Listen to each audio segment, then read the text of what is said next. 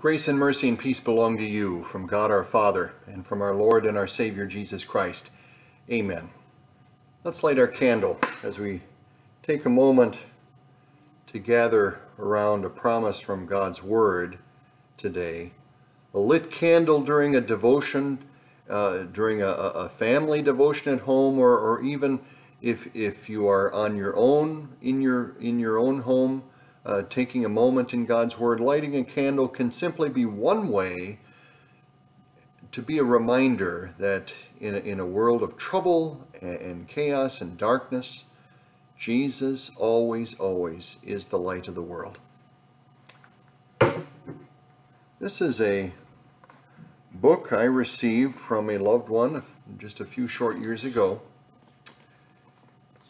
On the back cover I will read a couple of reviews about this this book and, and the true story that it tells. The Chicago Tribune says it's one of the most gripping, suspenseful, intense stories anyone will ever read. The New York Times calls it riveting. The Wall Street Journal says grit in the face of seemingly insurmountable adversity. As you can see, the title of this book is Endurance. This is the true story of a British expedition around 1914 or so under the leadership of a man by the name of Ernest Shackleton. And they were going to attempt to uh, sail down to Antarctica and then with dog sleds across the entire South Pole, the, across the entire continent of Antarctica. At that time, that had never been done before. Ernest Shackleton and his team of about 27 men, once they got down there, ran into severe cold weather. They ran into disaster regarding their ship, and suddenly they found themselves in an indescribable situation they were without a ship. No one was looking for them because World War I had just broken out and the whole world's attention was, was riveted on that. And they had to find some way to get home. What they were willing to attempt to try to get home is the story that is told in this extraordinary book, Endurance.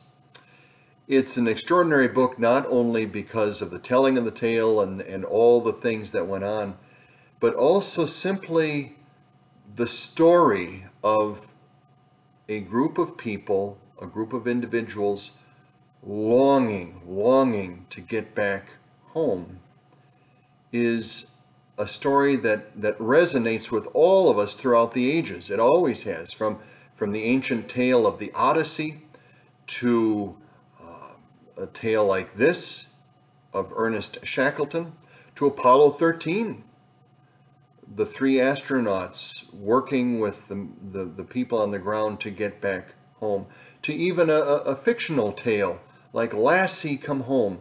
This story of, of longing to get home and, and taking that journey home has resonated throughout the generations. And perhaps one of the reasons it, it resonates so much is that it reflects the reality that you and I have in our relationship with our God. And with that, let's, let's give that some thought.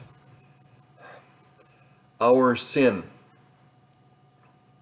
our uh, natural inborn maddening tendency, insane tendency to turn our backs on the God who created us and who loves us and, and to wander far away from him, our sinfulness has taken us far, far away from home. But God did not simply allow us to wander off. He sent someone to bring us back. He sent his own Son, God the Son, in the person of Jesus Christ, came here And he lived among us. And not simply to give us some company, he lived among us to live a perfect life in our place. And then to take the wall of sin that, that had put such distance between us and a holy God. He took that terrible wall of, of, of our sin, he took all of that upon himself, brick by brick, and he carried it all to the cross and paid for it in full through his suffering and death. And then he rose from death. And now through his gospel, his Holy Spirit comes to each of us with that gospel call. Trust in Jesus. Trust in what Jesus has done for us. And through Jesus' promises and, and what he has done on our behalf, Jesus is the way and the truth and the life. Jesus is the way home. This has been an unusual year and continues to be so. How are things going on in your home? How are things going on in your life? Have you had moments? Are you having a moment right now when you just feel isolated, alienated? Uh, over over time ha have you gained a sense that you feel as if you're a little bit adrift, a little bit disconnected, perhaps from your Savior or from from others? Perhaps this is a moment to be refreshed in the way home. Perhaps this is a moment to be refreshed in the one who brings us home. This is a time to be refreshed in Jesus. When we look to him in repentance, all the ways that we have alienated ourselves from him, and we look to him as our Savior. His blood washes us clean all over again. The blanket of his holiness from his holy life envelops us like a wonderful cloak all over again. And forgiven and embraced by our God through faith in Jesus. He brings us home because with the Lord a promise made is a promise kept. If this is a, a, a moment for each of us to remember what we have in Jesus and to remember that Jesus is the way home, May the Lord send each of us his Spirit by his gospel to renew our bond with our Savior so that we know that in Jesus we're home. We read the closing verses of our Psalm of the day today.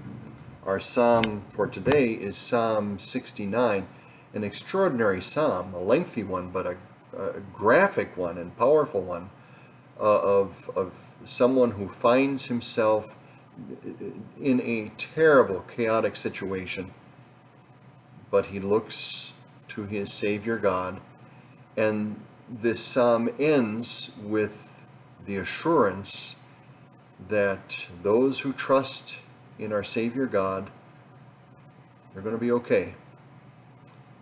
They'll get home. God will save Zion and rebuild the cities of Judah. Then people will settle there and possess it. The children of his servants will inherit it, and those who love his name will dwell there. Let's pray the Lord's Prayer. Our Father, who art in heaven, hallowed be thy name. Thy kingdom come, thy will be done on earth as it is in heaven. Give us this day our daily bread, and forgive us our trespasses, as we forgive those who trespass against us. And lead us not into temptation, but deliver us from evil. For thine is the kingdom, and the power, and the glory, for ever and ever. Amen. The Lord bless you and keep you. The Lord make his face shine on you and be gracious to you. The Lord look on you with favor and give you peace. Amen.